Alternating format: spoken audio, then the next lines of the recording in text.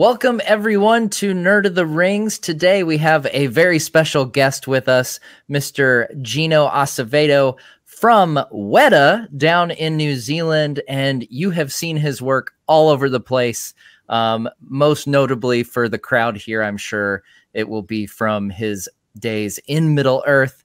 Gino, thank you so much for joining us today. You're welcome. Thanks for the invite. You know, I, I love I love your show. It's, it's been fun to uh, to watch your show and see a lot of old friends and colleagues on there. Awesome. Well, I'm glad that we could add you to the list, and uh, we're certainly honored to have you. Um, I know Jerry Vanderstelt uh, was one of those who was who was proud of me. He's like, "You need to ask Gino. He's got some great stories." So no pressure, but just Jerry. Jerry's hyped you up. He's your, he's a good hype man. he's great. So, he's great the one thing that I, I always like to start off interviews with asking people is how were you first introduced to Tolkien? Um, for me, it was probably probably The Hobbit. You know, when I was mm-hmm. when I was a kid, you know, growing up, and um, I remember before I read The Hobbit, I remember seeing the uh, the uh, the animated uh, Hobbit. Mm. Yeah and um, you know just loved all the characters and the, the and the designs of everything. And, and, of course you know Gollum and everything and the trolls and and all that. Um, and and then of course later on you know I read, read the book and stuff. I, I, had never had a chance or just I, I could never get through the Lord of the Rings books. Uh, I'm not much of a reader so I I, yeah. uh, I, I listened to them on tape though. That's one thing I did do is I when I started over at, at Weta Workshop with Richard uh, Taylor and the team. Um, the BBC back in the 70s, I think they put out a they put out a uh, it was like a uh, almost like a play where they had all the different characters and everything. What I can't remember what they called it. Nin- they, uh, 1981, they came out with the, oh, the radio okay. radio drama. Yep, that's what it was. Yeah, yeah, yeah. And uh, produced by Brian Sibley. Yep and um, I, I, just fell in love with that. And I would listen to that while I was working on it. It's like how ironic this is. You know, I'm listening to this stuff and working on the film at the same time. And um, uh, I remember one time when I really had to stop and pinch myself because it was at the part uh, with Gollum, and. I was designing a paint scheme of Gollum at the time. So I had the little Gollum head. Uh, where is he? He's uh, he, oh, he's over here.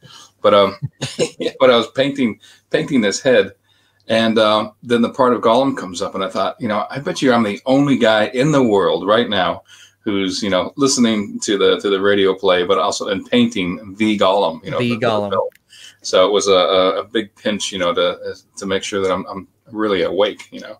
Yeah. And uh, then of course, you know, PJ would come through, and uh, before I started painting them, uh, Peter would say, he says, you know, Gino, out of all the things you've painted in your whole career, You've done some amazing stuff, but uh, this is going to be probably the most important, iconic character that you ever painted. It's like, yeah, no pressure, no pressure. and I guess that that held pretty. I mean, it's hard to top Gollum as far as iconic characters go. Absolutely, yeah, and um, it was interesting just the whole process of the, all the different designs. Um, and Jamie Beswarick was the, the lead uh, sculptor on on Gollum, and Jamie is one of the uh, the craftsman over at Weta Workshop, who's just a brilliant artist. And um, but they had so many different designs and everything, and they, it was also you know he was designed before Andy Serkis you know was mm-hmm. on board, and so it wasn't until after that when um, they realized that uh, well they should incorporate some of Andy's looks into into Gollum, yeah. you know because he was going to be playing the part of uh, of Smeagol. Right. And um, so it was just it was it was brilliant, and uh, it just worked out so well, as you know. Yeah, absolutely. So, um, take us back a bit. You know, tell us a bit about uh, you know how you came. You you mentioned before we started recording that uh, you're an Arizona guy, originally from Arizona, and uh, you somehow found your way down to New Zealand, where you've lived for uh, quite a while now. So how did how did that happen? What's what's uh what, what's the story there?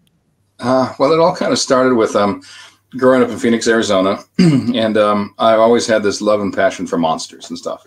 Um, and in fact, there used to be a TV show on Saturday mornings called The World Beyond, and The World Beyond would play the, the great classic Universal movies, you know, Frankenstein, The Wolfman, The Creature from the Black Lagoon, and all that kind of stuff. And I was I was glued to the TV uh, from 10:30 to 12 o'clock every Saturday morning, and all my friends knew that Gino wasn't going to come out to play during that time because he had to go watch the stupid movies.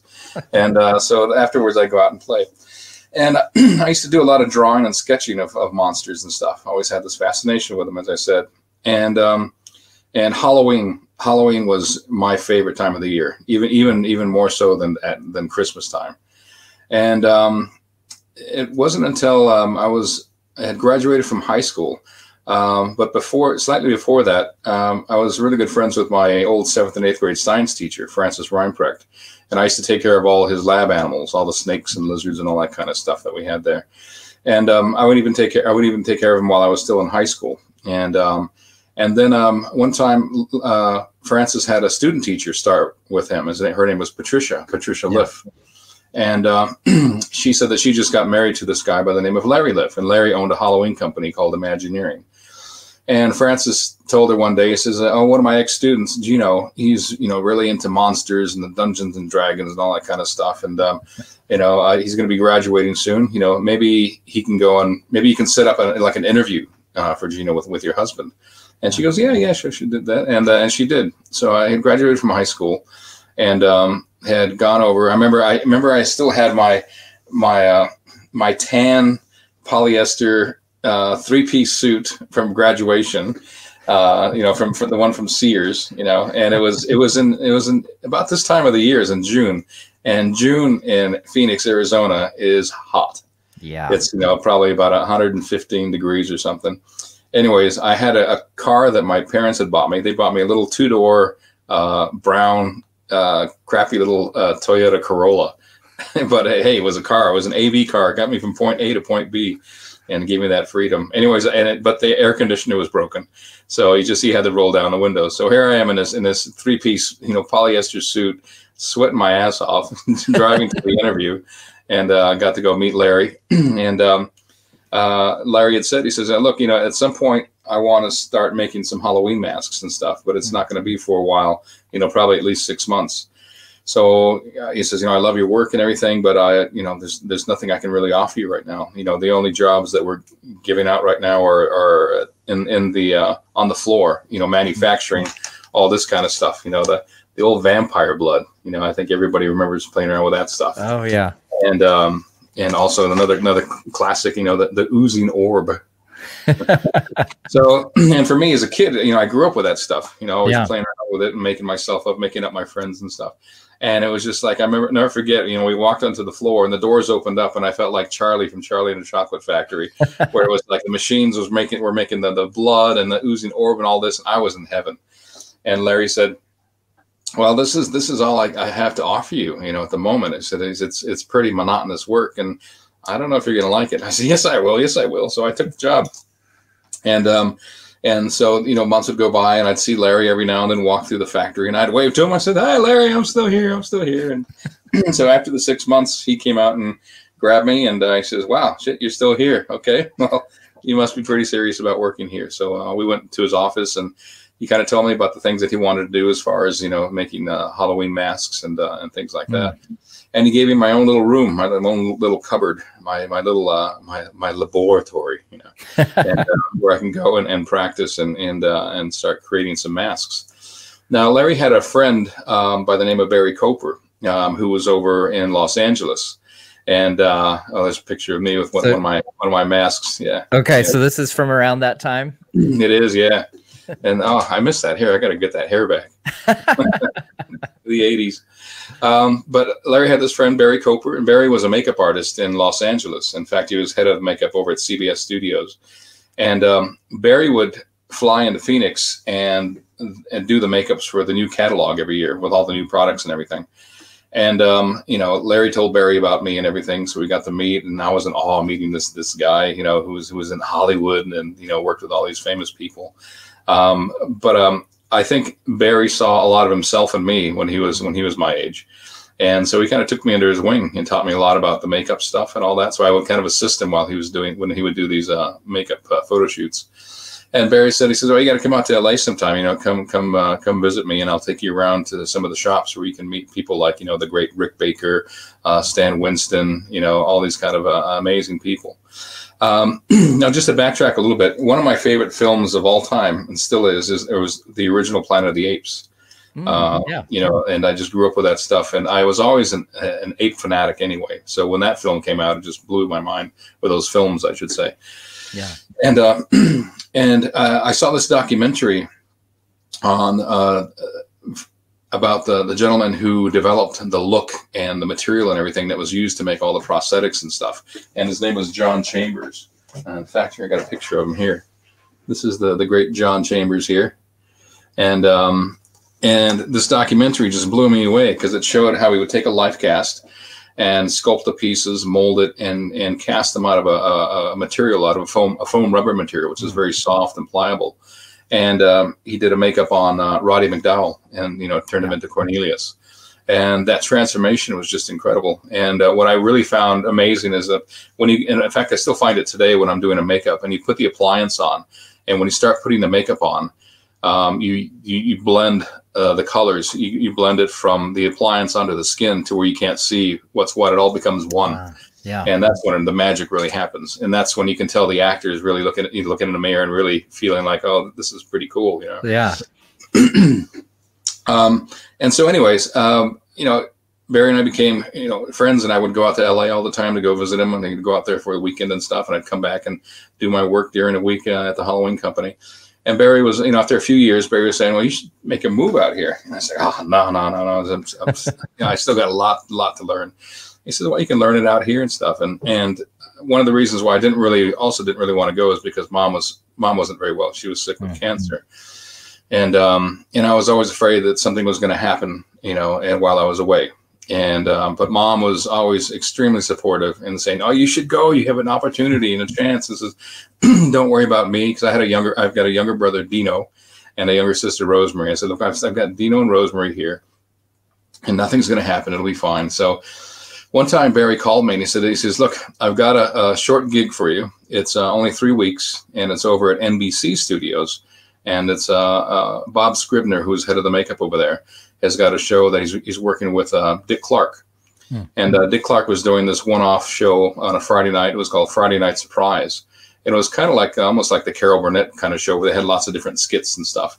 Yeah. And uh, one of the skits that they had was a takeoff from an old show back in the 60s called uh, Masquerade. And what they would do is that they would have celebrities come on stage but these celebrities would be made up with makeup and prosthetics to look like other celebrities. So it was like an audience participation where through questions and stuff, the, the audience would have to guess guess who they were. And so we were doing the same kind of thing. And so the uh, celebrities in this case uh, were the great uh, Alan Hale and Bob Denver, of course, from the Gilligan's Island. Yeah. You know, Alan Hale playing the skipper and Bob Denver, of course, playing Gilligan.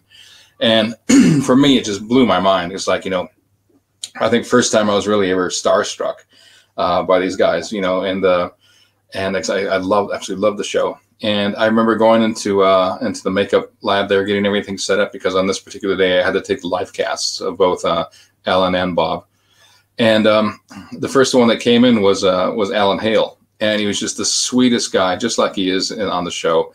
Uh, and uh, I explained the, the, whole process. You know, I'm being very cool and calm, but inside I was going like, "Oh my God, it's a skipper!" and uh, so he took his life cast, came out great, and um, then uh, Bob Denver came in, and they hadn't seen each other in quite a few years. And uh, the first thing that Alan said to the Bob was "Little buddy," which was his tagline that he used to say right. on the show. And I just I thought, oh, this is too much. but anyways, uh, took Bob Denver's life cast, and uh, so right away I started sculpting the pieces, and I had to turn Alan Hale into uh, W.C. Fields. So I gave him a big nose, cheek pieces, and a chin, and Bob Denver had to turn him into uh, Mae West. Uh, oh, so that was like a full face thing. That was a real challenge. Yeah. Um, but they did a they did a skit from uh, the old show called My Little Chickadee, and um, I'll have to send you some pictures of it. Yeah, and um, it was uh, it was incredible. And then finished the show, and I still had about a, a week left, I think. And um, uh, one of the one of the, the great artists that Barry had introduced me to was Dave Miller.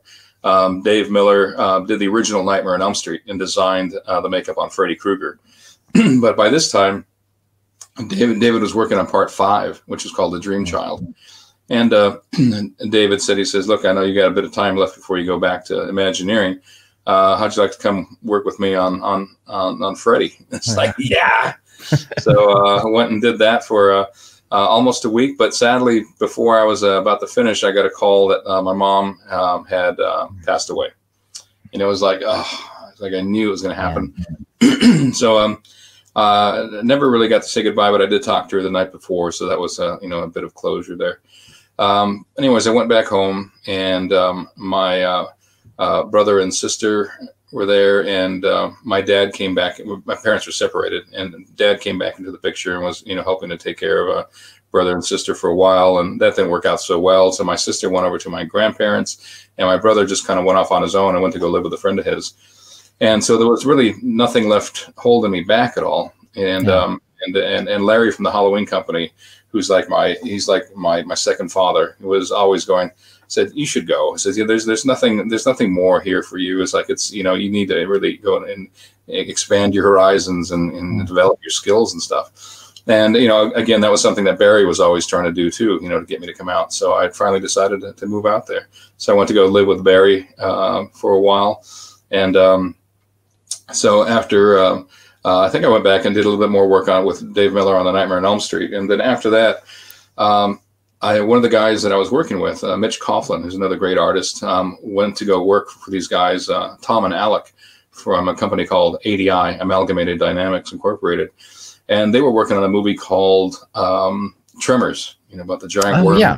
desert. Come out of the sand, yeah, yeah, yeah, fun, fun film, and um, they were about to finish that, and um, Mitch had told Alec and Tom about me because they had a, a new show coming up, and they were they were doing Point Break, the original one uh, with Patrick Swayze, right, and uh, and uh, and the other guys.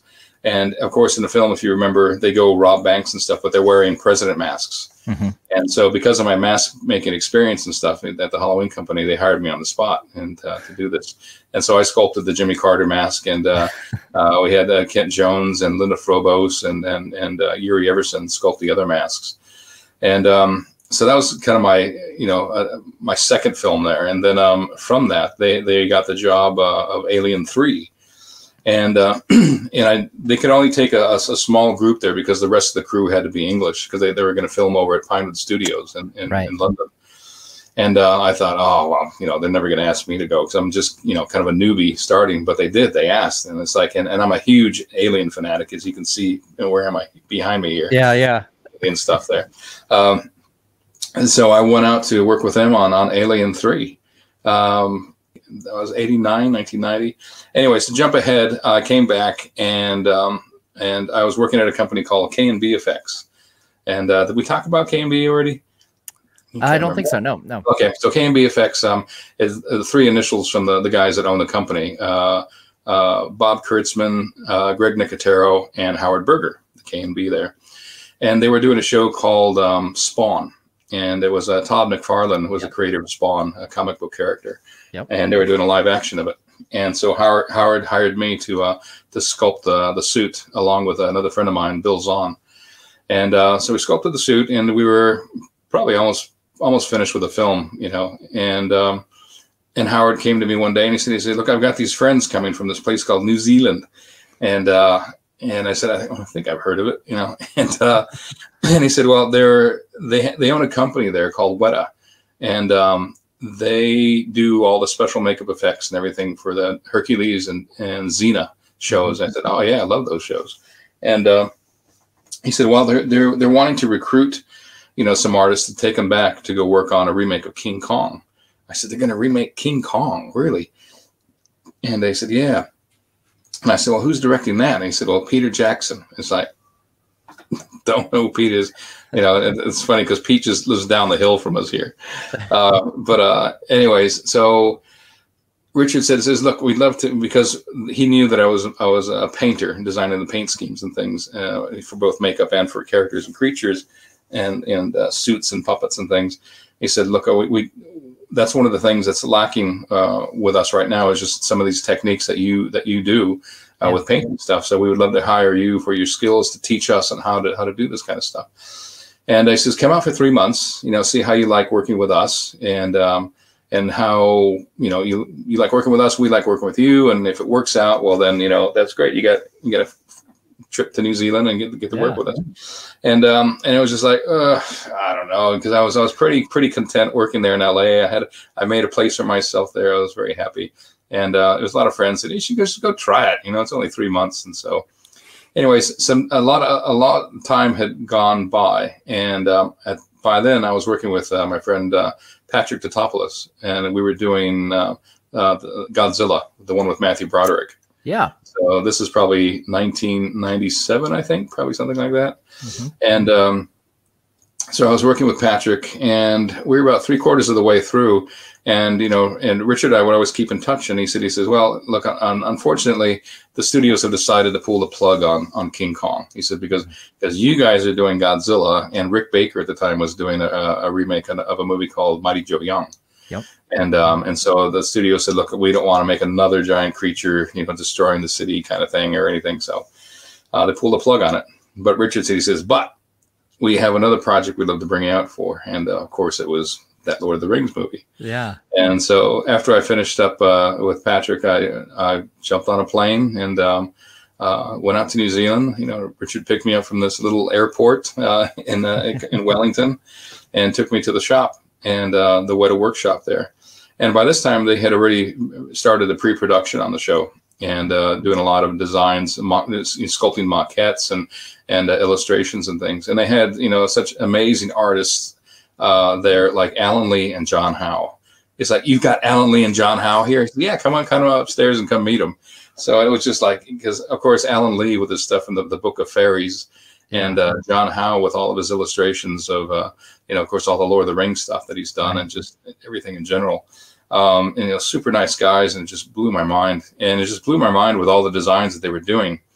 And uh, for me, it was it was really interesting because back in LA, I could usually tell, even if I didn't know who did who designed something, I could usually tell who did it just because with mm-hmm. each shop and, and all the different artists, they have their own styles and everything, of course. Right. But in this case, everything was just so different and so new and so fresh. It was really exciting for me to uh, to design the paint schemes, you know, for these characters and creatures. Yeah. Um, and so the first thing that I painted was the uh, head of the cave troll. Um, oh yeah. And, uh, so yeah, so that was a lot of fun, and um, and then from there, just designing uh, the paint schemes for a lot of the the Uruk-hai and you know the, the many orcs and um, oh, just tons of stuff. And uh, now, so that was sorry. Now, did, did I'm curious? Did you know when you flew to New Zealand? Um, did you know that uh, that they were working on Lord of the Rings, or did you not find that out until you got there? No, I, I knew I knew beforehand. Oh, you did. Okay. Yeah, yeah. I didn't know how secretive it, they were at that yeah, point. It, it was supposed to be quite secret. And uh, I remember when Richard, you know, when he when he told me, he says, "But we have something else we want to bring you out for." Through the grapevine, I kind of heard murmurings of it being Lord of the Rings, and I remember asking Richard, "Is, is it Lord of the Rings?" And he says, "I can't tell you. it is, isn't it? It is." And he just went, "Well, you'll see." And of course, it was.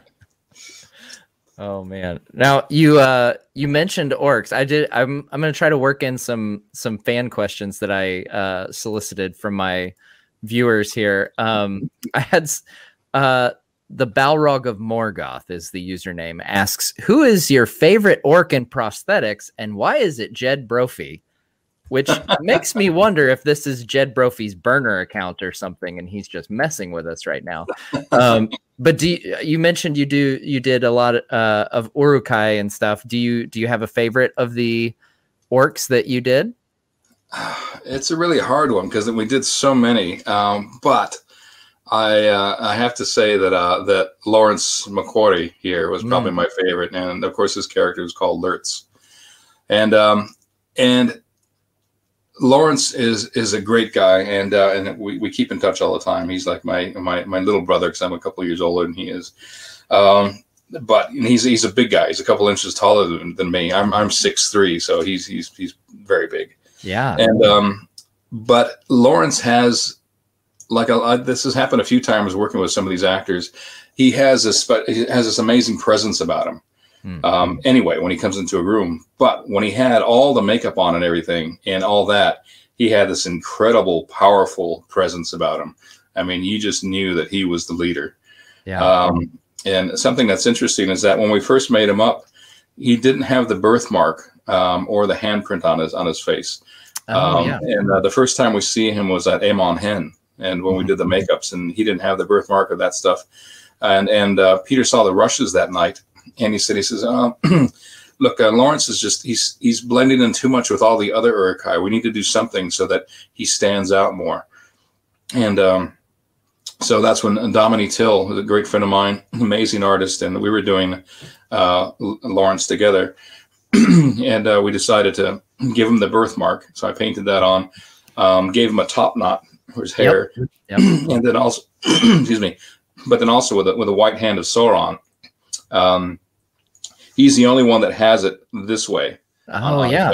Everybody else has it every other way, but yeah. he's the only one that has it that way. And it was actually it was my hand, so I, I have the white. Is it really? Sauron, yeah. didn't, didn't, know Sauron was a, was a Mexican. um, but yeah, but uh, but I think you know because we put him in the makeup so many times, and um, uh, he was incredible. But uh, of course, you know our great friend Jed Brophy, and Jed, if you're out there listening, hello, mate. And um, and Jed was another one who's a great one to put into makeups because there's a lot of actors, especially the ones who haven't worn prosthetics before. It's like it's a whole new layer of of, of, of skin, and uh, it's something that you know a lot of them hate it. You know, wearing it because mm. I have to admit it's because I've worn it myself, and it's like it's not my favorite thing to put on. But for a lot of people, and I'm, I'm talking about people like Lawrence and Jed, is that they really bring to life the character mm. um, because they they're no longer he's no longer Jed Brophy. He's he's yeah. whatever the character is, and he just becomes this like he, he played Snaga. Snaga yeah. was one of my favorite ones that he did, and just he was just he's really creepy little guy, and uh, and uh, so you know Jed is another one of one of my favorites, and uh, it just goes on and on. There, yeah. there, there were just so many, you know. Now you mentioned yourself in prosthetics, so naturally. We've got to talk about this guy here. So tell us about this. Yeah, so this was, uh, of course, uh, being one of the Corsairs, and um, and my uh, my now wife, but she was the casting director for Peter. Her name is uh, Liz Mullane, and um, so I think she saw me and she goes, he says, "Oh, I think we can use you," you know. And, and later on in the films of being, you know, one of the Corsair pirates, and uh, I said, "Sure, I'd love that." And so it was one day, and there's a great uh, behind the scenes thing. It's on YouTube, and uh, uh, but it's uh, where we all got to play the Corsair Pirates, and it was yeah. Peter Jackson, uh, Richard Taylor, myself, um, one of the producers, and um, and I think I think there was one one uh, other actor who was like the, a real actor, you know, yeah, not well, not one of us, and. Um, so we got, we got to uh, play these characters and, and, put on these these amazing costumes and stuff. And uh, my friend Tami Lane, another brilliant makeup artist, did my make did my makeup. Um, and uh, you know, there's my hair. And I love the hair. I, I, think I had hair like that in the '80s. You know. Uh, and um, but anyways, I'll never forget. We, on on set, they had made a like a, a section of, of the ship, uh, the Corsair ship that you can see in the background there. Yep. And um, and we're all standing there, and because it's, it's the scene where the uh, army of the dead come out and they, they flood onto the boat that you know to come kill us, take us out, and so it's uh, uh, Peter Daube, I think was the actor, um, is talking with uh, with Aragorn, you know, and mm-hmm. and he says something along, you know, and whose army, yeah, you know, yep. and he says, and of course this army, but we all had this to stand there and just kind of just look look mean and tough and everything. Yeah. And um, and then when they when we when we see Peter said it's okay now when when the uh, when the army of the dead start coming onto the ship, you have to look scared and just you know like you know really really really frightened. And so we were doing this thing. We're just like like ah, and um, you know I, have got a big mouth and I've got a lot a lot of teeth. It looks like, but uh, Pete would go off the set and go down and check check that rush, you know that that take yeah. And he'd look at it and then he'd come back and he'd give everybody notes. And I'll never forget Pete came up to me and says, um, uh, Gino, Gino, what, what, what are you doing with, with your mouth? I said, well, that's kind of like my, my fear, uh, fear attack grin kind of thing, you know? And he says, oh, it just looks like you're smiling. Keep your mouth shut. like, oh, okay. Yeah. Great. Thanks. Okay. So the rest of the time I'm just like, mm, we're doing something but it was it was a lot of fun, and uh, Richard and I had a blast, and and everybody could tell that it was me, and and uh, but with with Richard and his makeup and stuff, nobody could nobody knew that it was really Richard. Mm-hmm. He he did the transformation. Uh, Dominie Till did his makeup, and um, and transformed him so well that you know yeah. even his wife Tania came on set with her son uh, Samuel. You know, he's just a couple years old, yeah. and uh, you know she was looking for for Richard and couldn't couldn't find him. Couldn't find him. yeah, it's pretty funny. Oh man!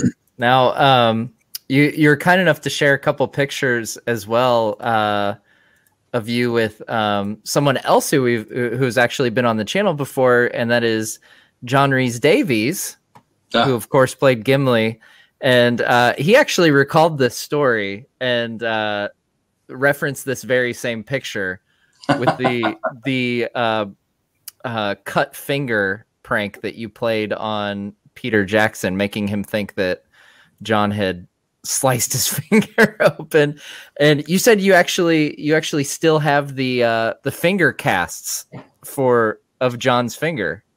I do, I do. I've got them in my in my cabinet in my office. I've still got them, and it was funny because you know John had, you know, I, of course, right away when we first met and uh, we're making him up, I noticed that he's missing, you know, the, the end of his middle finger here, mm-hmm. and um, I said, so I had asked, so what happened there? And he said, oh, he was working on his car, and and all of a sudden, I think that it started up and the fan just bloop, took off his oh, finger, wow. and so I was thinking about it, you know, for a long time. I thought we got to try to do something do something with this. And um, so I told John, I said, what do you think about the idea of, you know, letting me put an extension on your on your stub, you know, and uh, we can cut it.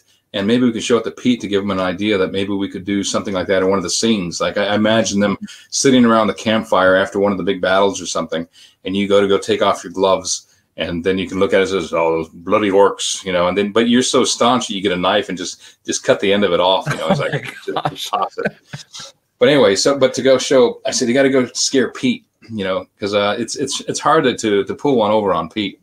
But um, anyway, just like you saw in the picture there, um, I put a slice in it, and then when he bent it over, open like that, and I put a little bit of blood inside there. But when he bent it over, it just it just looked awful, you know. Yeah. And um, so John goes over to uh, Pete, and Pete's sitting in his chair on set, and uh, John goes, "Boss, boss, look, I've had a little bit of a fishing accident today." And uh, and Pete goes, "Oh, what, what, what, what happened, John?" And uh, John's, "Well, I was doing this, and then the, the, the, line came across and did that, and he pulls it open like that, and Pete just goes, "Oh, oh, you got to get a medic, got to get a medic," you know. And and then we started laughing, and then why why are you laughing? And then uh, of course we, we, we let him let him on in, in, on the gag. So it's pretty funny. Pete says, "Oh, you got me." So it, it, it's pretty hard to get me, but you guys got me. You know, so it's pretty funny. Um, and in this picture, you can see the lovely Dominie Till there, uh, my great friend and great makeup artist, uh, who now lives in Los Angeles and married to uh, one of my best friends, Randy Cook.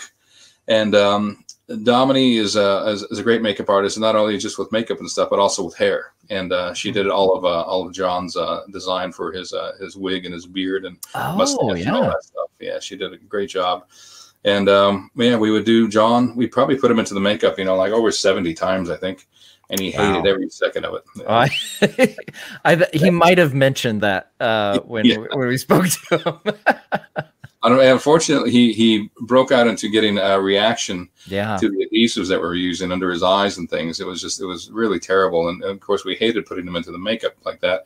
And there were times when he had to take you know a, a good week off uh, just to let his skin settle uh, a bit. And um, know, there wasn't much we could do. Just you know, let it let his skin heal, and and uh, we tried all sorts of different uh, adhesives and things. Um, but he was just he just he had very sensitive skin, and it's also because around the eyes that area there, the the, the skin is quite thin and always it's, it's right. quite sensitive. Yeah. But we, we got through it all, and on uh, John's last day, we gave him the uh, and the last appliance, and uh, and uh, he we, we had a little fire going, and so he happily threw it into the fire to burn it forever. oh wow! Um, now uh, you you shared some some more pictures, so I want I wanted to bring up another one in particular because this is one I remember watching Return of the King and wondering how much of this was prosthetics versus CG.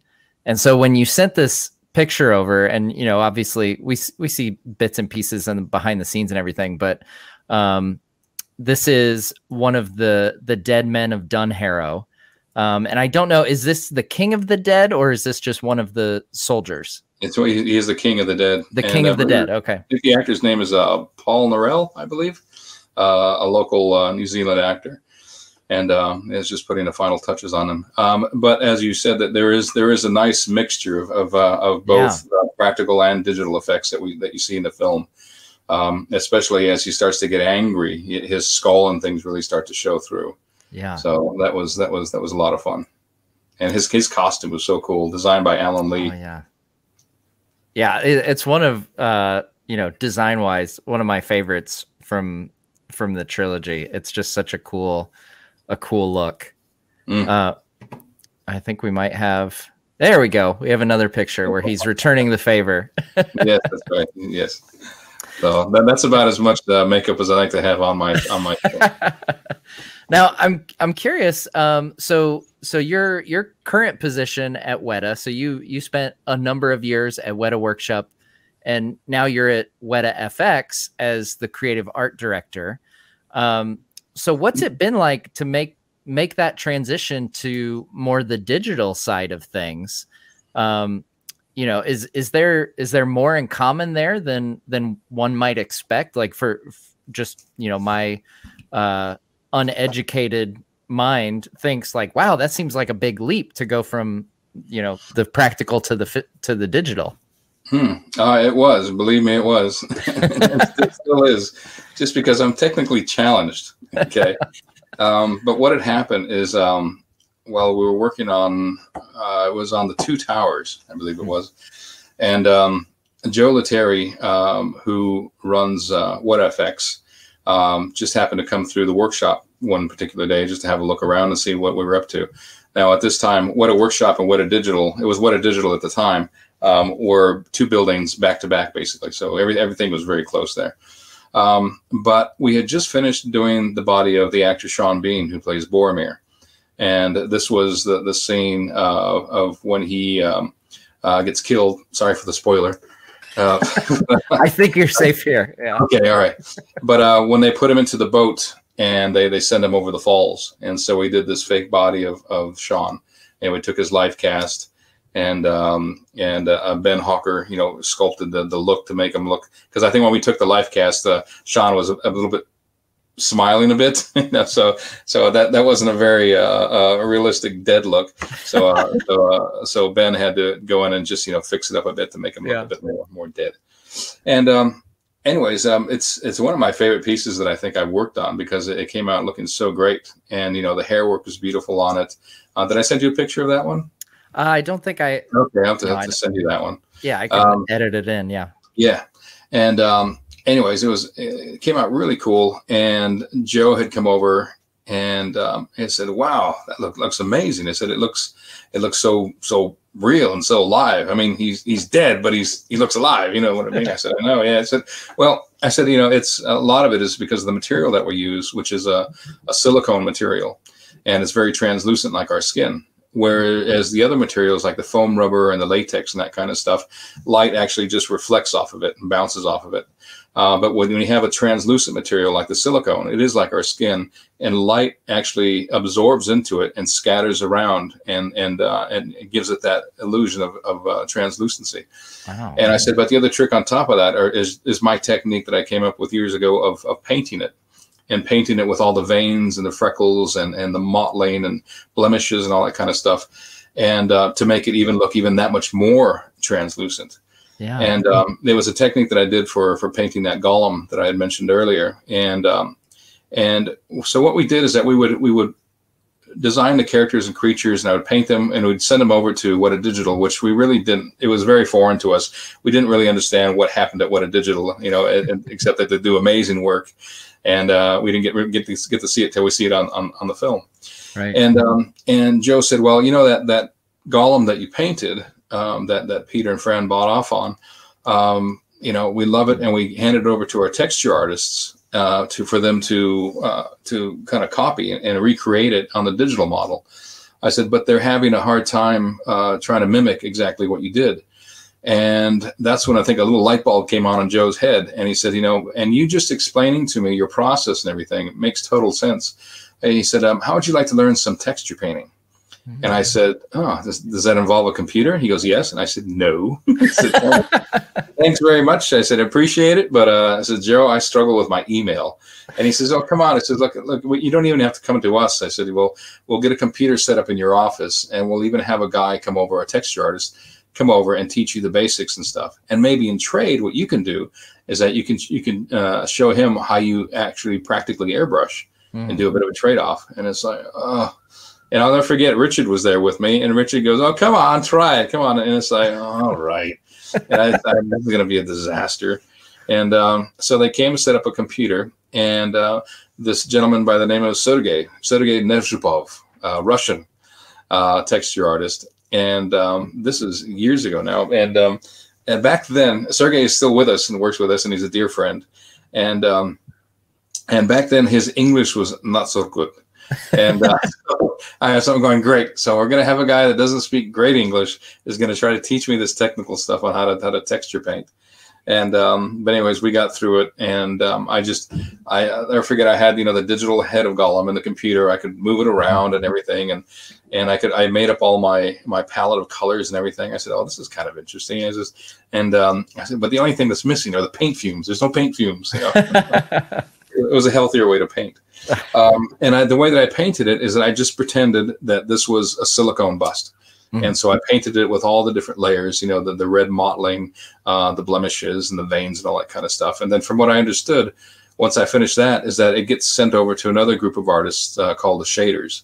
Yeah. Now, the shader artists are these magicians that can make the skin look, you know, make it look like a rock, or they can make it look translucent, or, or any of that kind of stuff. And so I got to see the, the process of, of how they were doing the, the look de- development on, on the skin and everything. Mm-hmm. And I gave them pieces of the, the, actual silicone so they could see it.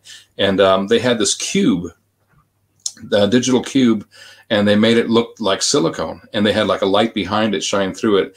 So you could see like along the edges, the, the, the amazing translucency. I said, wow, shit, that looks just like silicone, you know, but it was all digital. Yeah. And um, then they started doing all that all that stuff on on the Gollum uh, bus that I had painted, and it was just so cool, so amazing. Wow. It's just you know everybody was just blown away.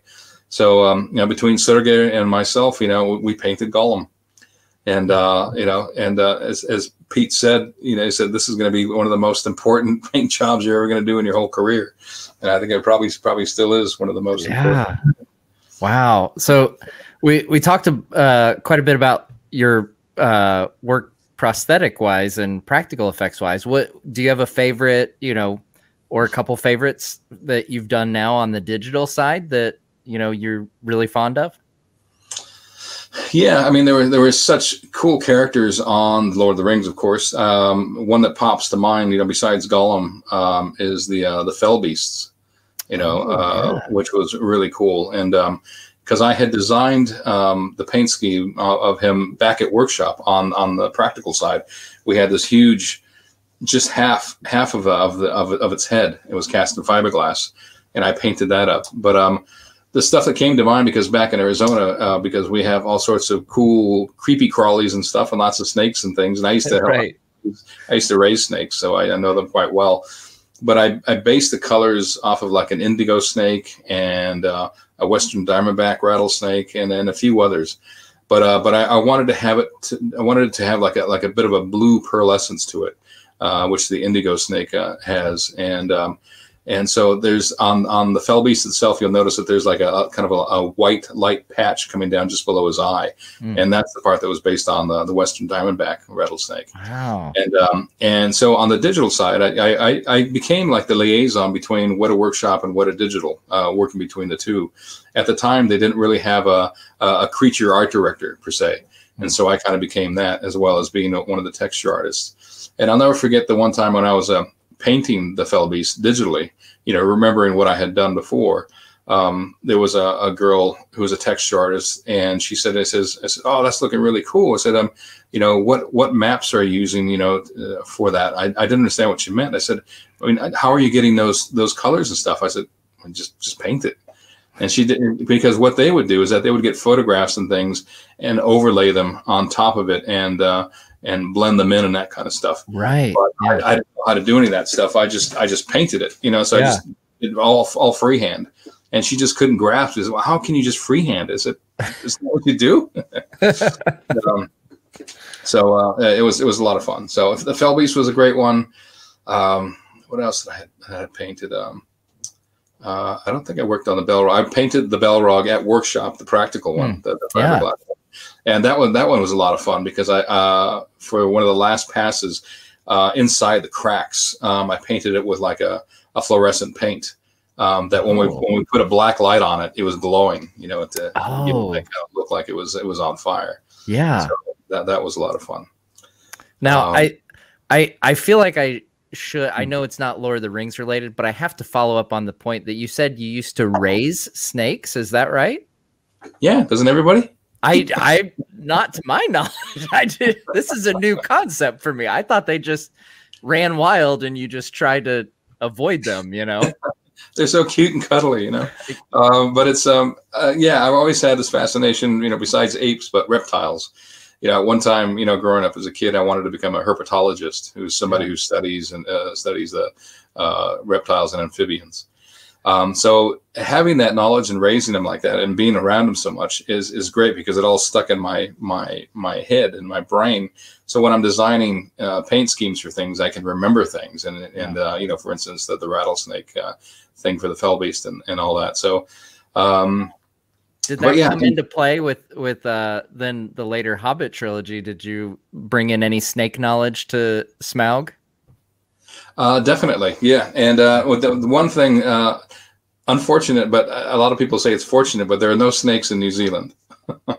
oh, really? I didn't no, know that. It, what the, the thing that's so bizarre about that is that we're only three hours from Australia. You know, from right. Sydney and of course everything there everything there can kill you yeah. there's like you got the most venomous snakes in the world there and uh, but there's there's no snakes here and uh, there's there's there's only one uh, that is but it's it's stuffed i have a stuffed uh, rattlesnake uh, that, I, that i brought back with me and uh, we use that for reference all the time and uh, to look at the scales and um, you know i think we used some of that stuff as reference for smaug and nice but uh, he was another one that was uh, was a lot of fun to work on. And I had uh, that's when I was looking after the the textures department. I looked after textures department for about seven years. But while we were working on on him on Smaug, it's because he was so big, we had to cut him up in pieces to yeah. have you know one person work on the on the head. Uh, Miriam Catron um, sculpt uh, did, did the paint job on the head, beautiful job on that, and um, uh, then I had you know one person working on on the, the, tail, one person on the back, and one person on on the feet. You know that kind of stuff. Um, and it was it was it was a marvel of a job uh, because a lot of the scales and stuff all had to be hand painted. Yeah. You know, you could have used you know a bit of a, of a stamp to kind of you know. Uh, uh, duplicate it and do all that kind of stuff, but uh, my eye always goes to that stuff because it looks like it looks like what it is. Yeah. So in this case, we hand drew it, even though we try to get it as perfect as possible. There's nothing like doing it by hand because you know you're going to get imperfections in there, which is which is exactly what's in nature. You know, it's not so not so pixel perfect as we'll call it. You know, and then right. in the, the CG world. Oh, that's so cool.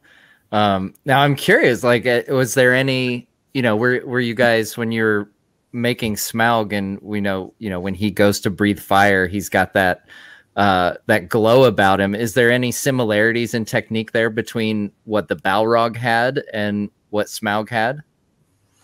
I think just from the technical side and and um, the the programs that they use are probably you know pretty similar. Yeah.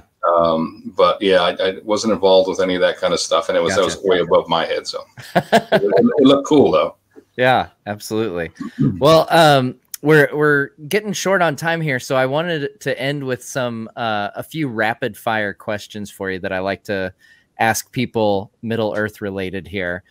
Uh, who would you say is your favorite Middle Earth character? Oh, that's like asking who's your favorite child. it, a little bit, yeah. uh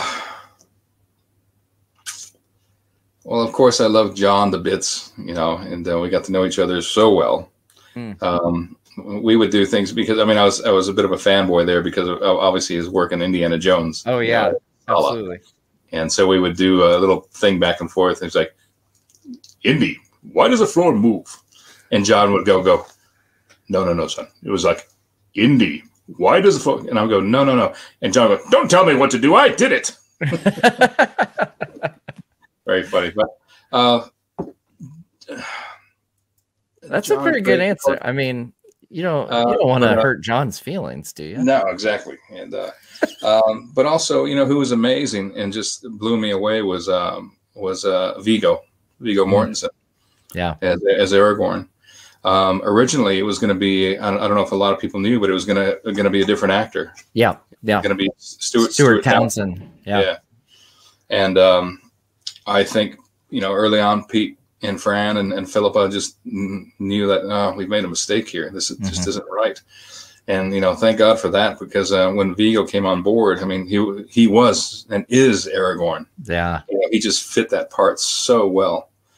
Um, yeah, just incredible. I just, I just, it, it, I used to love uh, being on set and uh, being on set and watching him um, do his stuff. There was one yeah. particular time of a uh, one of my favorite scenes um, is uh, Boromir's death, death yeah. scene, and um, I'll never forget. We were standing, you know, uh, behind the monitors watching the scene, and uh, where Aragorn is holding him, and you know, he says, you know, my king and we were just all behind the, the thing, just bawling our eyes out. Oh, just man. it was so powerful. Even now, the hairs are standing up on my arm. Yeah, the same here. Yeah, and um, but one of the things that that Peter did is that when he was editing the stuff together, um, he put a little bit together and he put um, uh, the Braveheart music to that and that was just like oh my god it was just so incredible.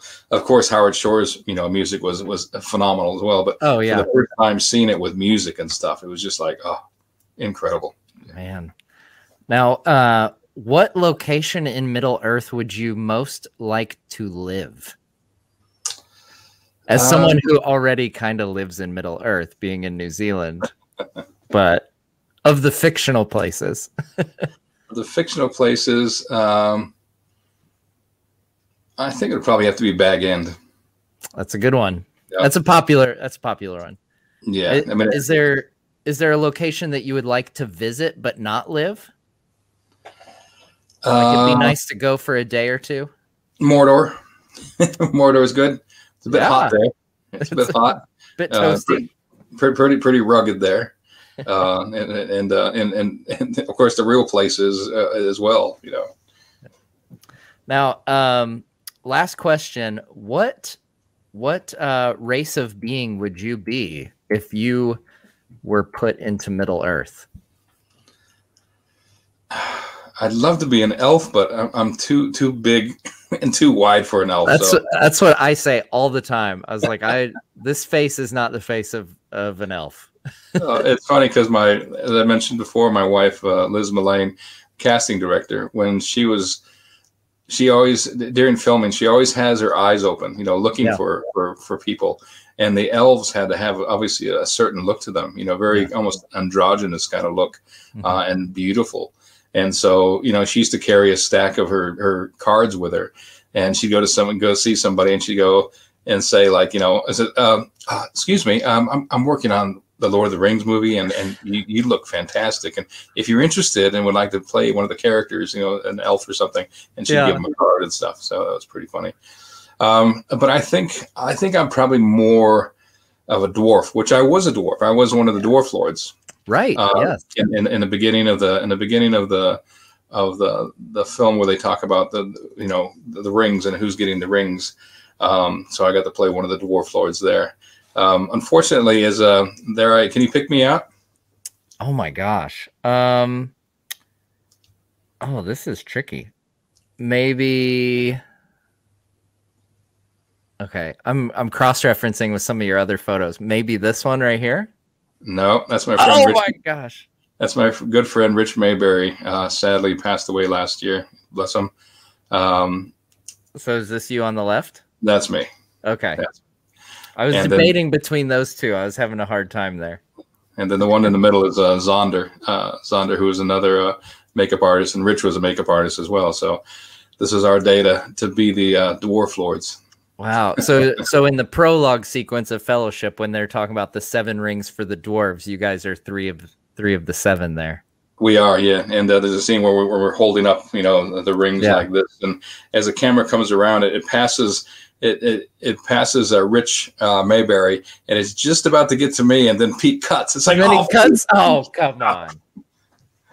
Like, what did I do to you, Pete? You know, but well, maybe, maybe, maybe in one of the extended, extended, extended. Uh, yeah, I mean, the 25th anniversary is coming up. Surely he can add a couple extra seconds to get you your your uh shot there. I would Let's think. So. Yeah, I think yeah, we we need to make that happen. Come on. well, Gino, thank you so much for for taking the time out and uh, joining us here on the channel to chat uh, about your journey to to Weta and uh, the cool work that you guys do down there. I know I speak for everybody who watches my channel that we are huge fans of your work and uh, even today, like you know, we're we're over 20 years from Fellowship. We're celebrating 20 years of Return of the King this year. Uh, gosh, those films hold up so well, and like still, like yeah. you mentioned, you mentioned Aragorn at, at Boromir's death, and like you know, you said you were getting goosebumps. I was getting goosebumps just thinking about that moment, and it just shows the magic of these movies, and you know, a huge part of that magic is the effects work that you guys have all done. So from all of us fans, thank you so much for for all the work that you guys do to bring this world that we love, uh, bringing that to life for so many people. That's great. Thank you very much, Matt, and thank you, thank you all out there that are that are the fans. You know, we're we're we're just as big of fans as well. So. All right, guys. Well, thank you so much for watching. Uh, this has been uh, a great talk with Gino Acevedo the creative art director at Weta FX, with a long storied history with the wonderful folks at Weta down there in New Zealand. Uh, thank you all so much for watching, and we will see you next time on Nerd of the